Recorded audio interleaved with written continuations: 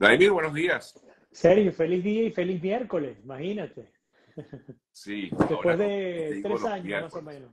¿Cómo?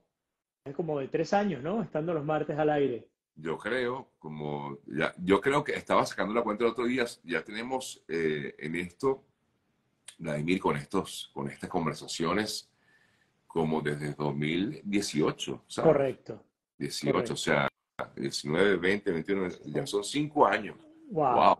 Bastante, ¿no? Sí. Bastante, sí es. Sí. Bueno, Vladimir, qué bueno poder conversar contigo. He visto tus trabajos que has venido haciendo para, para Tampa hoy y también para, para su filial en, en, en, inglés. Que muy buen inglés, por cierto. I, I can talk Washington too, como dicen. ¿no? no, muy bien, muy bien. Gracias, brother. Y has destacado sobre todo, bueno, en estos últimos reportajes, que por la razón por la cual pudiéramos conversar un poquito acerca de este tema para empezar nuestra conversación del día de hoy, acerca de, de lo que ha sido que para algunos eh, es, eh, no es del todo cierto, porque te, lo digo porque yo he escuchado versiones de que dicen que no, que eso no es verdad, que eso son eh, inventos de los medios, de que supuestamente este joven, esta persona, perdón, este migrante fue detenido bajo la ley SB 1718 en Florida. ¿Qué información nos puedes dar exacta que tengas al respecto? Lo primero es que no es un invento de los medios. En todo caso, la discusión que hay es si en efecto fue detenido a partir de la ley SB 1718 o no. Pero vamos, vamos al, caso práctico. Para aquellas personas que no han seguido esta historia, se las comento muy rápidamente. Eh, un migrante mexicano de unos 41 años aproximadamente, llamado Raquel López, sí tiene nombre en Venezuela, Raquel es de mujer, pero en México puede ser eh, para ambos sexos. Em, él venía, eh, se encontraba en uno de los condados de la Bahía de Tampa manejando una van. Y digo se encontraba en uno de los condados de la Bahía de Tampa porque originalmente, según el reporte, él venía desde Georgia, entró a Florida y, según el propio reporte, él ingresó con seis inmigrantes más uno de ellos, por cierto, menor de edad, todos ilegales, todos indocumentados, de los cuales solamente dos, al pasar la frontera, se encontraron con oficiales del CBP, los oficiales los procesaron y les dieron cita para su audiencia ante un, ante un juez de inmigración. Entonces, de esos seis inmigrantes, cuatro estaban totalmente ilegales, que significa que ingresaron y que nadie supo que ellos ingresaron al país. En el caso de este inmigrante, que era el que iba manejando aquí en la bahía de Tampa, de origen mexicano, insisto, em, él había venido en una anterior oportunidad a los Estados Unidos y había sido ya deportado y volvió a ingresar ilegalmente, eh, logró evadir los controles eh, migratorios y se encontraba trabajando junto a estas personas eh, colocando techos acá en la bahía de Tampa.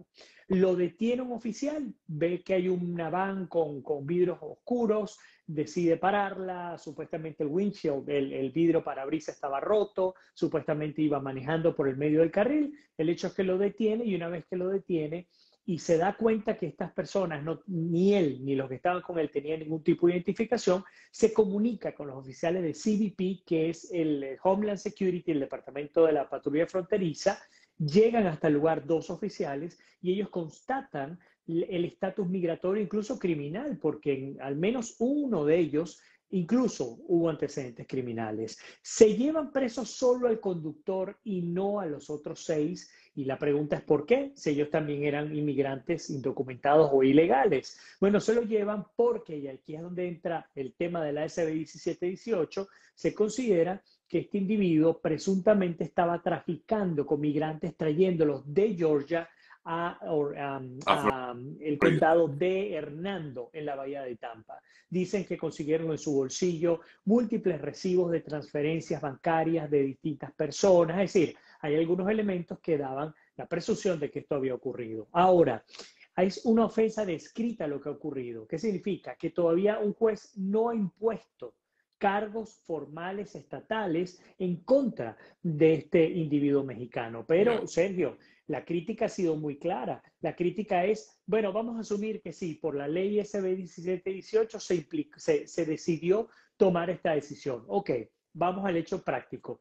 El individuo había sido deportado, volvió a ingresar ilegalmente al país, estaba transitando con inmigrantes que no tenían ningún tipo de documentos y por supuesto estaba rompiendo la ley porque estaba manejando un vehículo sin licencia de conducir, por reo por fa esta persona tenía que ir, eh, tenía que ser detenida y por supuesto insistimos que eh, el tinte político que se le da es la parte que preocupa, porque se ha aparecido el cónsul de México con un abogado aquí en la bahía diciendo que se trata del primer migrante detenido a causa de la ley SB 1718. Y esta persona lo que corre es con la suerte de ser deportado. Eh... No, el primero tendría que pagar un cargo criminal. Yo quiero destacar esto y qué bueno tu pregunta. Un individuo que entra a los Estados Unidos de manera ilegal y es detenido y deportado, ese individuo se le deporta sin problema. Pero si ese individuo decide volver a ingresar, entonces ya no es un acto migratorio, sino que es un acto criminal y entonces tiene que pagar eh, cárcel, al menos de ser demostrada su culpabilidad. Entonces, el caso de este chico, hay dos elementos. El primero, que reingresó, por lo tanto, le van a colocar cargos probablemente que tienen que ver con su reingreso ilegal, ya serían cargos criminales. Y en segundo lugar, si se llegara a comprobar de que él de verdad estaba metiendo a inmigrantes a Florida, que esa es la parte más difícil de comprobar por parte de la fiscalía. De hecho, los oficiales, abogados criminales que yo entrevisté me decían que era prácticamente imposible porque tendrían que poner a declarar a los inmigrantes que ya los liberaron y esa gente se desaparece de aquí. Eh, pero el hecho es que podría entonces tener cargos criminales, no solo porque volvió a ingresar ilegalmente al país, sino porque supuestamente estaba traficando personas ilegales hacia la Florida. Claro, que es allí donde cae justamente la ley SB 1718, el hecho de traficar personas de un estado, de, en este caso de Georgia, hasta Florida. Pero ocurrió, Ahora, y perdóname que te ataje, esto, esto no es un tema nuevo en los Estados Unidos. Hay, hay una persona que yo respeto mucho, Karina Jiménez Alzolay, es venezolana, aprovecho a hacer esta, este, este comentario, esta denuncia pública. Ella, bueno, es una activista venezolana, ciudadana americana, eh, que eh, sensibilizada por lo que ocurría en México, decidió irse a Ciudad Juárez, entre Ciudad Juárez y El Paso, Texas. Ella se puso a ayudar frenéticamente a los inmigrantes por lo que veía. ¿Cuál fue la, la, consecuencia para ella? Bueno, ella iba con unos inmigrantes, cinco inmigrantes en su camioneta dentro del Paso, Texas, fue detenida y ellos asumieron que ella también estaba traficando con humanos, estaba llevándolos de un lado a otro y lo peor es que los estaba llevando a un albergue y hoy por hoy ella está presa, no le dieron fianza para poder salir a este joven que les estoy comentando aquí, eh, aquí en Florida sí le dieron la posibilidad de pagar 10 mil dólares de fianza, cosa que no pudo hacer porque no tenía el dinero. Pero el caso de Karina Jiménez Alzolay, y busquen la información, nosotros, ella era una de mis fuentes de entrevista, ella eh, no le dieron fianza, el juez decidió no hacerlo y ella está detenida hoy en día enfrentando un juicio que la podría llevar a prisión de hasta casi dos años. Una mujer que ha estado ayudando a los inmigrantes sin tener, sin formar parte de ningún tipo de mafia. Entonces, a donde quiero llegar esto no es nuevo en Estados Unidos y por supuesto yo creo que le están dando una jugada política, electorera, por lo que ha ocurrido en los últimos meses con el tema de la campaña presidencial acá en los Estados Unidos. Electorera, sí, pero eh, ¿de qué manera beneficiaría, por ejemplo, a, a quién beneficiaría en todo caso? Bueno, yo no quiero asumir que el, que el cónsul de México está parcializado hacia uno de los bandos, ¿no? Hacia uno de los partidos políticos, pero lo que te puedo decir es que vender este, esta idea de esta manera perjudica a Ron DeSantis, que ya ha sido fuertemente golpeado por sus políticas, mm, digamos, migratorias duras, excesivas para muchos, incluyendo para, para estadounidenses que han contratado a inmigrantes indocumentados durante décadas, porque el problema de la inmigración en Estados Unidos no es nueva, todos los años entran decenas de miles de personas a este país y esas decenas de miles de personas son necesitadas por el propio sistema formal en los Estados Unidos, así que el tema pica y se extiende. Pero a donde quiero llegar es que sin duda alguna pudiera llegar a ser, dependiendo de los cargos que se le coloquen, en efecto, la primera persona detenida en Florida bajo la nueva ley SB 1718, aunque, insisto, antes de que fuera aprobada, también si se demostraba que tú estabas trayendo personas desde afuera y se sospechaba que tú estabas cobrando para traerlos, ibas igual preso por tráfico humano. Human smuggle es algo que ha existido aquí en Estados Unidos y no solamente hablar de inmigración ilegal solamente para traerlo, hablar de la prostitución y esto lo he retratado yo.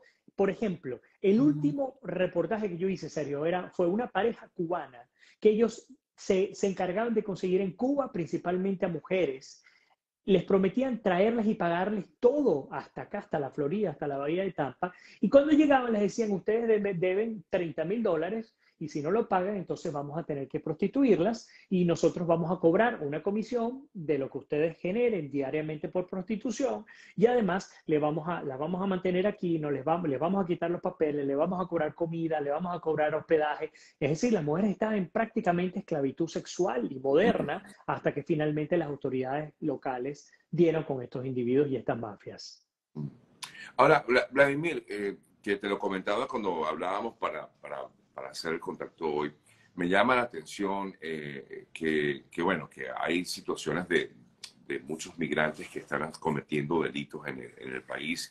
Y por supuesto, esta semana ha sido, eh, fue muy viral el caso de un, de un joven de 29 años de edad en Nueva York, que fue detenido en, en, de origen venezolano. Lamentablemente es de origen venezolano porque no es el venezolano que me representa. Esto, pues, por supuesto, hay que destacarlo. Pero me llama la atención esta persona en particular, em, porque fíjate tú, tú comentabas del caso de este mexicano. Él ya había sido deportado, entonces volvió a entrar y volvió a salir, volvió a entrar. O sea, o sea estas cosas yo no logro entender cómo ocurren en, en, Estados Unidos. O el caso de este, de este chico que comento de, eh, que, en Nueva York, que fue detenido seis veces seis veces. O sea, entró, salió, entró, salió y hasta que finalmente, bueno, ahora eh, también pues volvió a ser detenido. No sé en cuál es el estado eh, en, estos momentos de cuál es su situación legal, pero increíble. Eh, sobre todo esto, pues que, que ocurra en este país, que en teoría no debería pasar. Sí, tú, te refieres a, Daniel Hernández Martínez, él tiene 29 años, entró seis veces a la cárcel en dos meses que tiene aquí. El tipo, y perdóname que a partir de este momento todos ustedes prepárense, porque vamos a hablar de un tema polémico, sensible, y nos encantaría, a mí en particular, me encantaría conocer su opinión. Estén a favor o en contra, es el momento para hacerlo. 14 em, cargos criminales en su contra, Sergio. En dos meses, este individuo que llegó de Venezuela a los Estados Unidos. Y aquí yo me quiero detener. Y voy a hablar de mi gente, de Venezuela, pero también lo voy a comparar con otros inmigrantes hispanos que también he retratado porque me he dedicado a la comunidad hispana en la, en la Florida. Conozco cientos de mexicanos, hondureños, guatemaltecos, salvadoreños, de todos. Esta gente entra a este país, y escúchenlo bien, entra a este país y no pasa un día en un albergue. No pasa un día pidiéndole un plato de comida a absolutamente nadie. No pasa ni un día generando conflicto a su alrededor. Claro, tienes gente de gente, tienes individuos que, bueno, desviados, terminan cometiendo delitos. Yo no digo que la mayoría en nuestro caso sea así, pero la inmensa diferencia, la gran diferencia entre la migración venezolana que está entrando, que ha entrado en los últimos dos o tres años, y la migración centroamericana y mexicana, que ha entrado por décadas, estamos hablando de 30, 40 años, es que esa gente entra, se pone una bota eh, alta, digo a los centroamericanos y a los mexicanos, y se van a un campo a trabajarte 12 horas al día, construyen su casita, traen a su familia, los ponen a estudiar, los hijos tratan de llevarlos incluso hasta la universidad. Y aunque sigan teniendo sus costumbres y culturas, les puedo decir algo, es tan desastroso el problema de la frontera para cruzar, que los mexicanos cruzan para celebrar los cumpleaños de las abuelitas, de los abuelitos, de las tías, de los tíos y regresan de nuevo a Estados Unidos. Es un problema que no es nuevo, pero el asunto de la diferencia fundamental está en que yo no puedo aceptar ni entender cómo es posible que en lugares como en Nueva York haya 107 mil inmigrantes, la inmensa mayoría venezolanos, todos pidiendo asilo, y todos, o la inmensa mayoría también dependiendo del gobierno del estado de, Nueva York y de la alcaldía de New York City, porque además están en Manhattan, están en el Times Square, están en, las mejores, en los mejores lugares, siendo mantenidos en hoteles, dándoles comida, dándoles servicios, a tal punto en el que ayer aparecieron, recordemos que el alcalde y la gobernadora de Nueva York son demócratas y Nueva York ha sido considerado un estado santuario y ellos sí. por estado santuario están pagando las consecuencias de la mano blanda, porque ustedes me van a perdonar, la, la, la, nosotros tiene que llegar un punto en el que la ley se aplique de manera vertical. No podemos aceptar, y soy venezolano y estoy hablando de mi gente,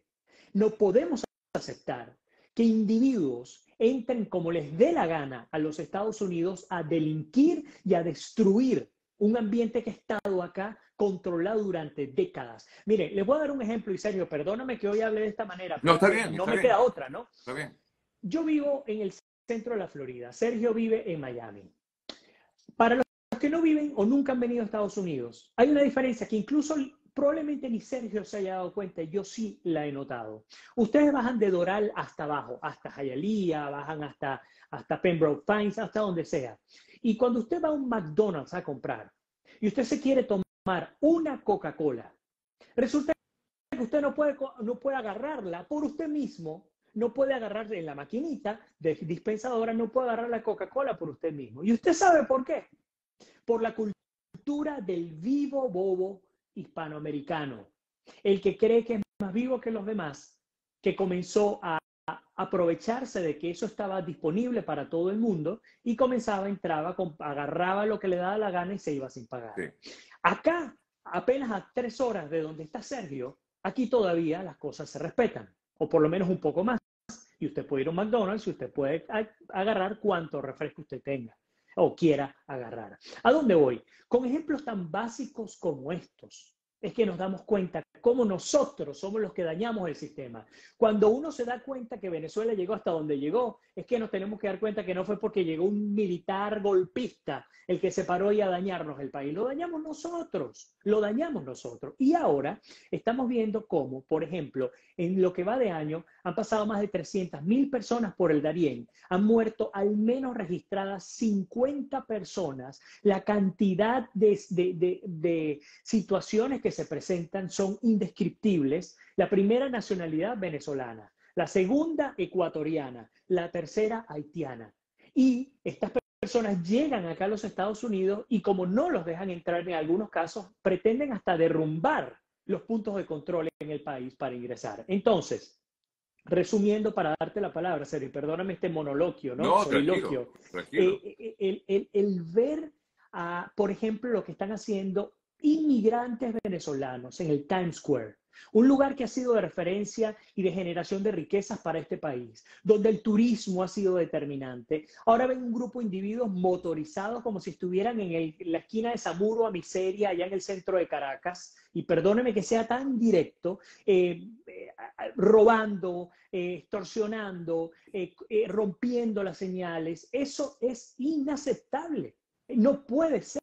Y eso responde a un sistema migratorio roto que tiene que repararse. Ahora, te, te, aparece el alcalde de Nueva York ayer empeorando todavía la situación. Porque ¿sabes qué ha dicho Sergio? Él ha dicho que hay que sacarle ya permiso de trabajo a todos esos inmigrantes que están llegando, porque es que el Estado de Nueva York ya no puede, ni la ciudad de Nueva York, ya no puede seguir manteniéndolos. Llegan de 5 a 6 autobuses full diariamente a Nueva York.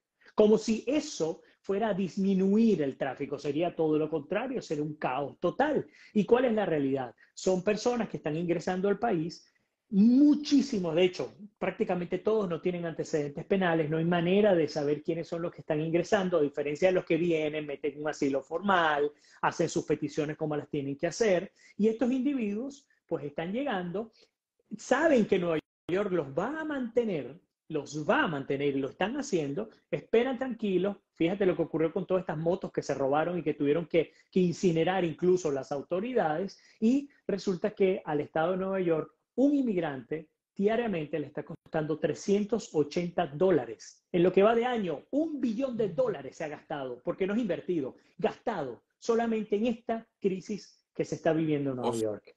sea que ha habido mano débil de parte del gobierno de Nueva York. Yo creo que esta complicidad, Sergio, porque es que para criticar políticamente a, gobernadores como el de Texas o como el de Florida, con medidas verticales en contra de la migración, pues bueno, ellos no, si nosotros lo vamos a recibir y mira las consecuencias que están viviendo. Y ojo, yo siempre pongo este ejemplo para ser justo. Sabes que me encanta comparar. Ustedes van a Europa cuando los sirios tuvieron que salir huyendo de su país por la guerra con Bashar al-Assad, ellos se fueron a Europa y la mayoría de los países de Europa dijeron, lo siento mucho, nosotros no podemos meter aquí a todo el mundo sin controlar, nosotros tenemos que saber quién está entrando aquí.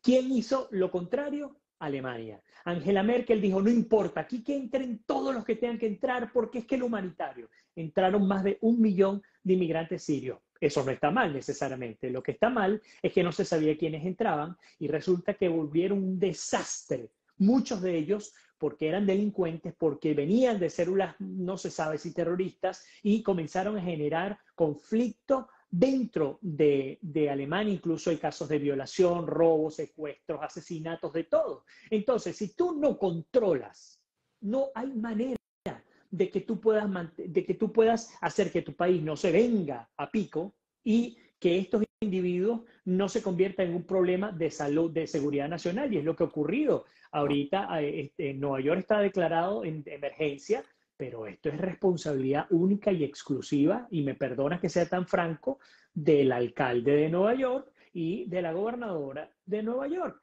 Fíjate qué pasó con, con en el caso de, de, Massachusetts, con el caso de, de, Martha's Vineyard.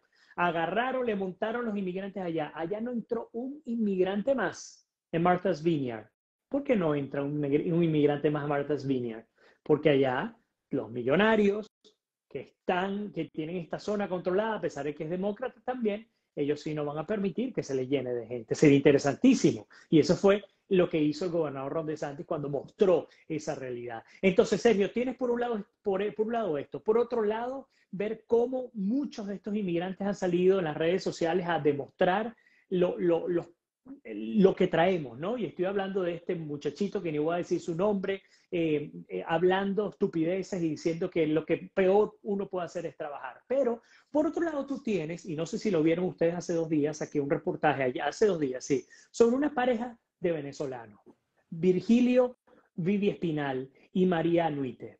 Ellos son, ella es patrimonio cultural venezolano, nombrada por el Instituto Nacional de Patrimonio.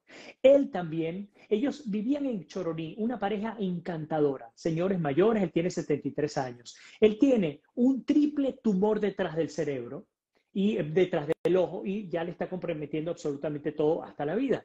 Ellos son artistas, ella es una de las mayores emblemáticas del, barrio del baile de la burriquita y ellos tuvieron que salir de su país por la circunstancia y comenzaron a recorrer un par de países con su cultura, con su arte. Llegó un momento que ya físicamente Vivi no podía más y ellos qué hicieron? Ellos se comunicaron con las autoridades, pidieron, hicieron los procedimientos que tenían que hacer y la ONU los trajo como oficiales directamente desde Trinidad, los trajo acá a la Bahía de Tampa para facilitarles tratamiento médico y poderlos ayudar. Esa es la gente de la que yo quiero que nosotros hablemos todos los días. Esa es la gente que vale la pena y esa es la gente que sin duda alguna nos eh, demuestra que, por supuesto, en, en hacer las cosas bien, pues nosotros podemos llegar muy lejos. Es que se pueden hacer las cosas bien y hay que, hay que, hay que justamente instala a hacer las cosas bien. Por eso es que molesta, y te entiendo perfectamente tu molestia, eh, que, que, pasen este tipo de cosas, que una persona, por ejemplo, que es solamente un ejemplo de lo que pudiera estar pasando, eh, que una persona tenga 14 cargos en tan solo dos meses de estar viviendo en este país, que ni siquiera tiene un proceso legal abierto. Te voy a contar esto, Sergio, perdóname, pero es que tengo tantas cosas que decir. Y no hablar solamente de los venezolanos, porque me van a decir seguro, es que tú hablas, yo les voy a contar algo. Hice un reportaje también, una investigación sobre algo que estaba pasando con el tax collector aquí en el condado de Hillsborough, que es el tax collector, donde tú sacas tu licencia, tu placa del carro, lo que sea. Resulta que no habían citas, no, no existían citas. Tú entrabas a la página web y no había manera de sacarla. Entonces las personas tenían que ir físicamente y esperar horas completas. Descubrió la tax collector hispana, buena amiga mía, ella descubrió que había una mafia también hispana, de un país caribeño, y esa mafia, y, no, doy, no digo de qué país, porque ella me pidió que no lo dijera públicamente, si me autorizara lo dijera completamente, además una investigación.